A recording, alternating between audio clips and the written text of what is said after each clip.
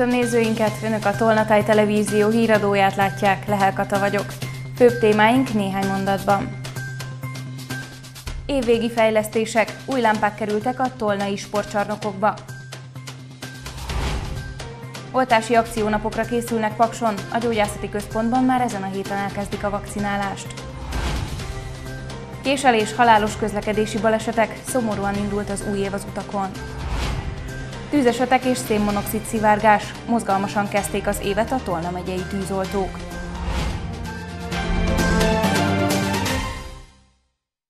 Korszerűsítették a Lehel és Sport utcai csarnokok világítását Tolnán.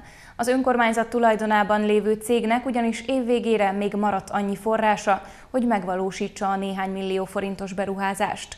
A Peszhofer Ágnes polgármester elmondta, hogy a fejlesztésnek köszönhetően a fényviszonyok javultak a létesítményekben, és még kevesebb energiát is használnak fel, mint eddig.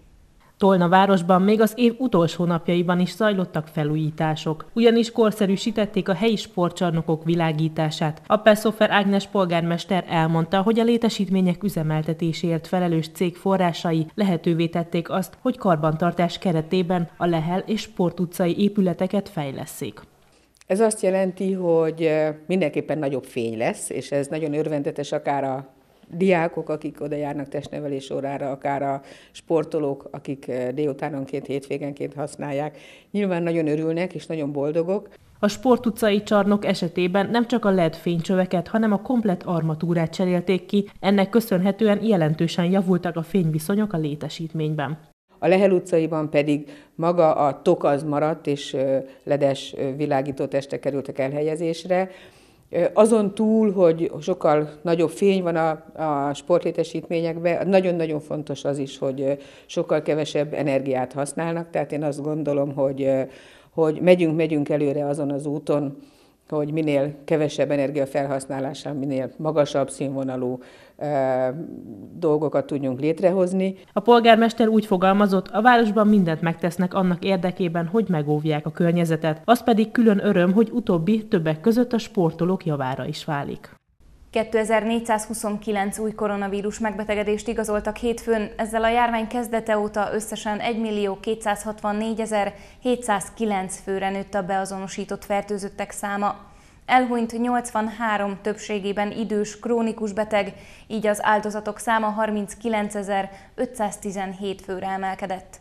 3335 koronavírusos beteget ápolnak kórházban, közülük 316-an vannak lélegeztetőgépen. Oltást eddig már több mint 6 millió 268 ezeren kaptak. Tolna megyében 58 új fertőzöttet regisztráltak hétfőn, ezzel a járvány kezdete óta összesen 26.695-en kapták el igazolhatóan a koronavírust az országnak ezen a részén. Az eddigi oltási akciók sikerére és az Omikron vírus variáns magyarországi megjelenésére tekintettel januárban több oltási akciónap is lesz a kórházi oltópontokon és a járási székhelyek szakrendelőiben, amikor ismét előzetes időpontfoglalás nélkül és helyszíni regisztrációval lehet majd kérni az oltást. Az operatív törzs javaslatára 2022. januárjában is lesznek települési oltási akciónapok, Pakson a gyógyászati központban és mind a kilenc házi orvosi rendelőben elérhető lesz a szolgáltatás. A januári települési akció oltónapokon az első, a második és a harmadik oltást is fel lehet venni, előzetes időpontfoglalás nélkül helyszíni regisztrációval. A házi orvosokra vonatkozó szabály, hogy januárban legalább egy pénteken és egy szombaton kötelező oltaniuk. Pakson azt a házi orvosi kérést tolmácsolta a város polgármestere, lehetőség szerint mindenki saját házi orvosához forduljon, és a könnyítés véget előzetesen jelentkezzenek egy péntek és egy szombati napon kötelesek oltani, pénteken 14 órától 18 óráig, szombaton pedig 10 órától 18 óráig kell oltaniuk. Pakson a kilenc házi orvos a következő időpontokban várja a lakosságot. Dr. Szilágyi Szabolcs, Puskásné, dr. Szőcs Teodóra január 14-én és 15-én olt saját rendelőjében. Dr. Juhász Katalina Váci Mihály utca egy szám alatt olt mindkét napon, 21-én pénteken a paksiakat, 22-én szombaton pedig a Dunakömlődieket. Január 28-án és 29-én dr. Fodor Ágnes, dr. Cigler Csaba, dr. Farkas Éva Edina, dr. Palkó Ágnes, dr. Lendvai Stanu Krisztina és dr. Barok Józsefhez mehet oltásra a lakosság. A Paksi Gyógyászati Központban januárban minden csütörtökön, pénteken és szombaton lehet oltásra jelentkezni, és már a héten megkezdik a munkát. Ötféle oltóanyagból lehet választani, Természetesen a választást a szakorvosi előzetes kikérdezés is befolyásolja, mert a szakorvos a a rendelkezésre álló információk alapján dönthet másként és javasolhat mást. A gyógyászati központ bőrgyógyászati várójában bárki jelentkezhet oltásra. Itt 12 éven felüli gyermekeket is oltanak csütörtökön és péntekenként 14-től 18 óráig, szombati napokon pedig 10-től 18 óráig. Az 5-11 éves gyermekek oltása házi gyermekorvosi praxisban történik. Az időpont foglaló honlap is működik, ezt is lehet használni, de nem kötelező. Nem csak a gyermekeket nevelő családokat segíti a kormány, hanem a fiatalok életkezdését is, jelentette be Zsigó Robert Facebookon közzétett videójában. A családokért felelős parlamenti államtitkár kiemelte, egyik fő céljuk, hogy segítsék a munkaerőpiacra való kilépésüket, saját otthonhoz jutásukat és a családalapítást. Ezért vezették be többek között a 25 év alatti munkavállalók SZIA mentességét, ami által 22%-kal emelkedik a fiatalok nettó keresete. Az elmúlt tíz évben másfélszeresére nőtt a munkát vállaló fiatalok száma. Így a személyi jövedelemadó mentesség 280 ezer már dolgozó fiatalt érint, de a korosztályban akár 1 millió fiatalt is érinthet ez az intézkedés. Azok, akik 8 órában dolgoznak, havonta 41.600 forinttal is többet vihetnek haza, ez éves szinten félmillió forint többlet jövedelmet jelent nekik. Súlyos, életveszélyes testi sérüléssel és két halálos közlekedési balesettel indult az új év Tolna megyében. Kajdacson egy férfi szúrta melkason a szomszédját, Alsonyék térségében két autó ütközött, a balesetben az egyik sofőr elhunyt. Döbröközön egy személyautó hajtott át a tiltójelzés ellenére a vasúti sineken, ahol az arra haladó vonatnak csapódott. A gépjármű sofőrje a helyszínen meghalt. A Tolna megyei rendőrkapitányság szóvivője fokozott óvatosságra inti a közlekedőket. Új év hajnalán a szomszédját szúrta melkason egy férfi kajdacson. A kora reggeli órákban érkezett a bejelentés a rendőrséghez a bűncselekményről. A Tolna megyei rendőrfőkapitányság bűnügyi osztályának munkatársai a helyszíni adatgyűjtés eredményeként azonosították az elkövetőt, akit eh, elfogása után gyanúsítottként kihallgattak, őrizetbe vettek, majd eh, indítványozták letartóztatását, amelyet a bíróság a mai napon elrendelt. Közlekedési balesetekből is volt bőven Tolna megye útjain. Szilveszter napján a reggeli órákban egy 68 éves mohácsi férfi alsónyékről kanyarodott ki az 55-ös számú főútra, amikor az áj elsőbségadás kötelező tábla utasítása ellenére nem állt meg a kereszteződésben, és a pörbő irányából Bátaszék felé közlekedő járműnek ütközött. Az autók összeütköztek, a baleset következtében a személyautó jobb első utasa olyan súlyos sérüléseket szenvedett, hogy kórházba szállítása közben elhunyt. A személyautó hátsó ülésén utazók súlyosan, a járművezetője könnyebben sérült. Ugyanezen a napon Döbröközön egy 22 éves férfi közlekedett az Új Telep utcában, ahol egy vasúti átjáróhoz érve az ott elhaladó tehervonatnak ütközött. A vonat a személyautót a vasúti átjáróból kilökte, a járművezető az autóból kiesett és a helyszínen meghalt. Az átjáróban a fénysorompó jól működött, tilos jelzést mutatott. A balesetek körülményeit a rendőrség vizsgálja. A hétvégén további hét anyagi káros baleset történt. Bár a szilveszter szinte eseménytelen volt, az új év mozgalmasan indult a Tolna megyei tűzoltóknál. Több balesethez, tűzhöz és szénmonoxid szivárgáshoz riasztották a katasztrófavédelem munkatársait az elmúlt napokban. A gyilkos gáz miatt az elmúlt évben 20 alkalommal kellett vonulnia a lánglovagoknak. Már két tűzeset is történt idén Tolna megyében. Január másodikán vasárnap nagy dorogra riasztották a paksi hivatásos szerveket, ahol autógumi, szemét és faág égett az egyik utcában. A másik jelentősebb tűzeset az év első hétfőjén történt. Január 3-án a Paksi hivatása tűzoltóegységeket riasztották Németkér külterületére, ott egy hétvégi háznak használt épület teljes terjedelmében égett.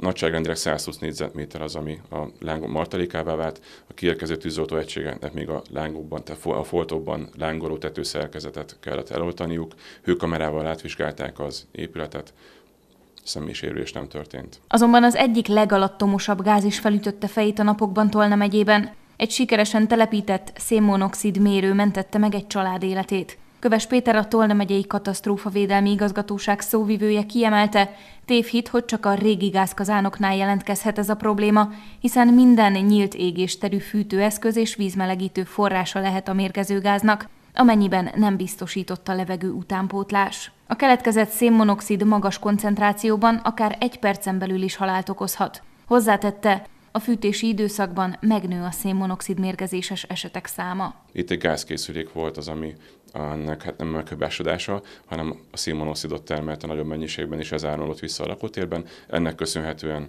a telepített szénmonoxid érzékelő készülékbe jelzett, majd vonultak a tűzoltók a helyre. Ide a katasztrófavédelmi műveleti szolgált Baranya megyéből vonult, és ő olvasta ki gyakorlatilag a készülékben ezt a rögzített 200 ppm, tehát veszélyes határérték körüli adatot. 2021-ben 20 esetben riasztották a Tolna megyei tűzoltókat szénmonoxid jelenléte miatt. Ezek többsége olyan volt, ahol a már beszerzett szénmonoxid érzékelő jelzett, így nem történt haláleset. Közeledik a központi írásbeli felvételik időpontja. A 6 és 8 év folyamos gimnáziumokba, valamint a 9. osztályba lépés egyik alapfeltétele a felmérő megírása, melyre idén január 22-én szombaton kerül sor. A központi vizsgán a magyar nyelvi és a matematikai kompetenciáit mérik fel a tanulóknak. A központilag kiadott egységes tesztek elsősorban nem tantárgyi vagy lexikális tudást mérnek fel, hanem azokat a képességeket és készségeket, melyek a középiskolában való eredményes továbbtanuláshoz szükségesek. A sikeres eredmény érdekében az Oktatási Hivatal honlapján elérhetőek a korábbi évek tesztjei is a gyakorláshoz. Lassan tíz éve járja az országot a Házhoz megy a zene, de előadás sorozat. A zenei misszió azzal a céllal jött létre, hogy a 20. század könnyű zenei fejlődését bemutassa a blues, pop, rock, soul zenei stílusok érintésével általános és középiskolás gyerekek számára.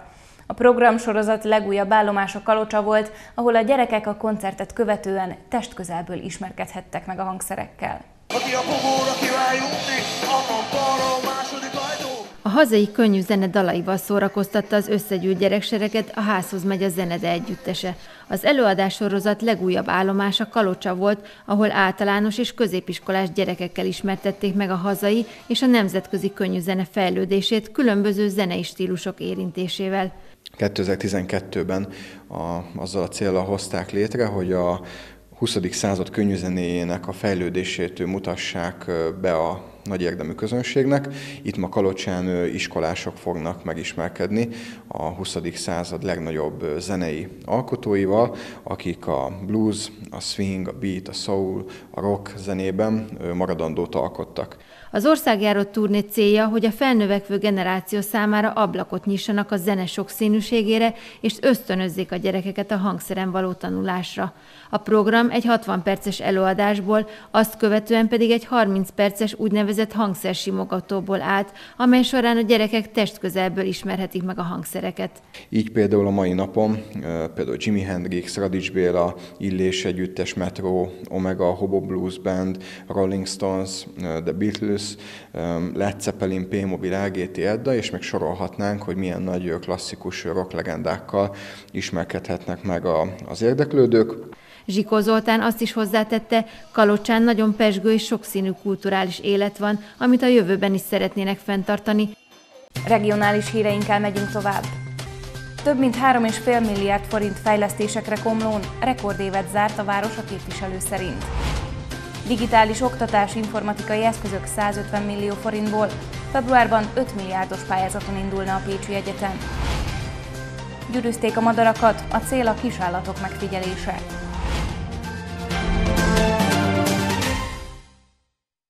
A tavalyi a legsikeresebb év volt a fejlesztések tekintetében Komlón, hangzott el a már hagyományos évértékelő sajtótájékoztatón. Hoppál Péter országgyűlési képviselő úgy fogalmazott, rekordévet zárt a város, sőt, évvégén még plusz 203 millió forintos támogatásban is részesült az önkormányzat. Olyan beruházásokat emeltek ki, mint a buszpályaudvar felújítása, az iparterület, illetve az iskola fejlesztése. Rekord esztendőt zárunk Komlón. Így értékelte Hoppá Péter az elmúlt egy évet Komlón. Az országgyűlési képviselő immár hagyományosan az új év első munkanapján tartott tájékoztatót a város polgármesterével közösen. Polics József összefoglalva a 2021-es esztendőt úgy fogalmazott, minden területen el kell végezni azokat a fejlesztéseket, amelyek a hétköznapi élethez szükségesek, és a tavalyi év ebben kiemelkedő volt. Legyen az oktatás, egészségügy, kultúra, közterületfejlesztések, a közterületfejlesztésekben az utak, a járdák, a játszóterek, a közösségi tereknek a fejlesztése területén hatalmasokat lép, léptünk előre. A tavalyi évben 3,6 milliárd forint érkezett Komlóra a kormányzatnak köszönhetően, összegezte Hoppá Péter a fejlesztéseket.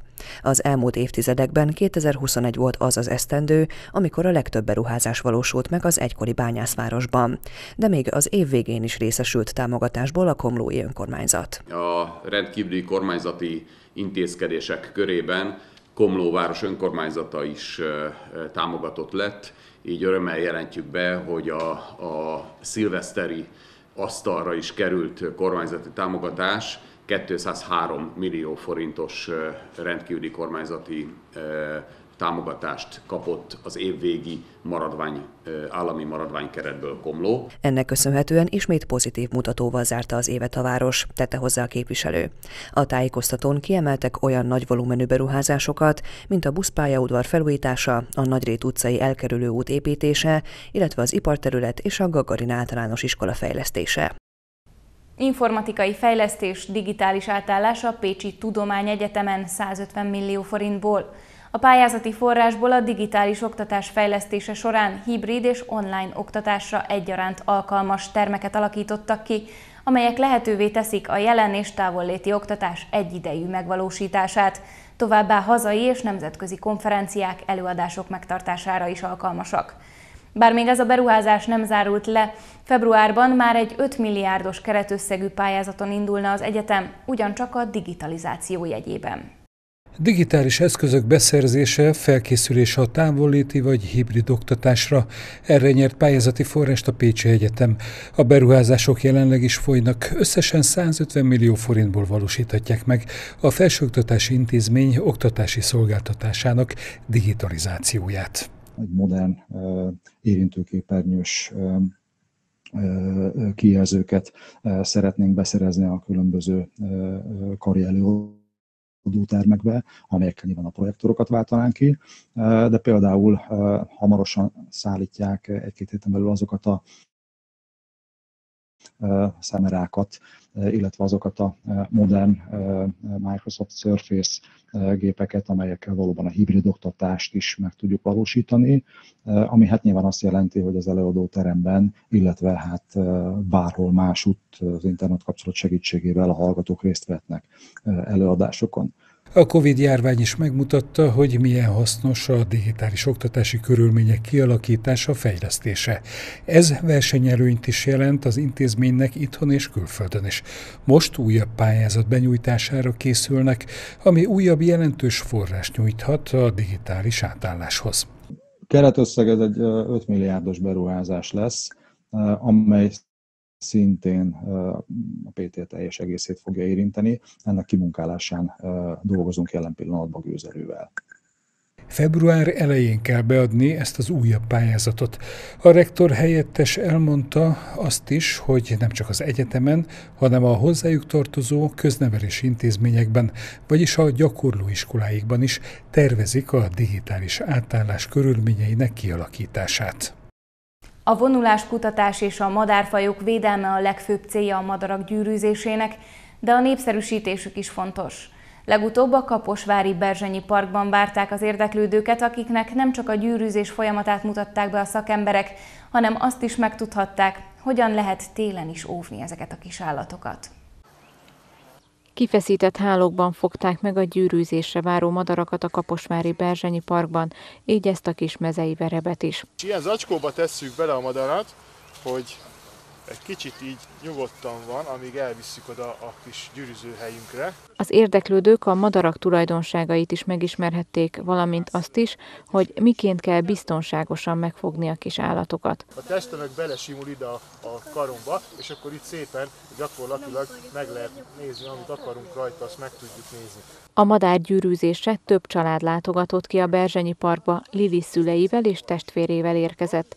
A kislány aktív részese volt a vasárnap délelőtti programnak. Azt tetszett a legjobban, amikor a madárkár repült a kezemből, és be kellett írnom, hogy ő, mi az adatokat a madárról. Lili családjával odafigyel a madarak védelmére. Van kint madáretetőnk az udvaron, és az ablakból szokta nézni a madarakat, és úgy gondolta, hogy szeretné látni, hogy hogyan történik egy ilyen gyűrűzés. A madárgyűrűzés célja a vonulás kutatás és a madárfajok védelme, de a népszerűsítés is fontos, mondta a Magyar Madártani Egyesület Kaposvári helyi csoportjának munkatársa.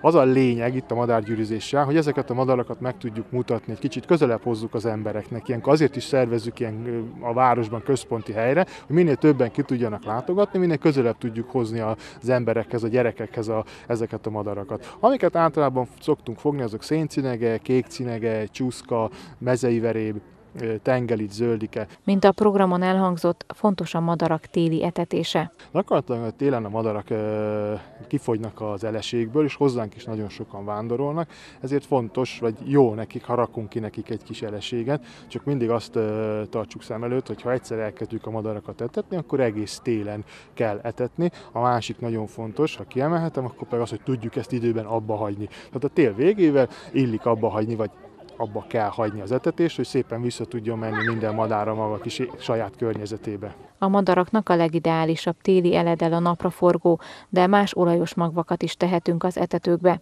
Emellett a gyümölcsöket is szívesen fogyasztják, a rigók például az almát szeretik. Végül nézzük főbb Tolna megyei híreinket még egyszer röviden. Évvégi fejlesztések, új lámpák kerültek a tolnai sportcsarnokokba. Oltási akciónapokra készülnek Pakson, a gyógyászati központban már ezen a héten elkezdik a vakcinálást. Késelés, halálos közlekedési balesetek, szomorúan indult az új év az utakon. Tűzesetek és szénmonoxid szivárgás, mozgalmasan kezdték az évet a Tolna megyei tűzoltók.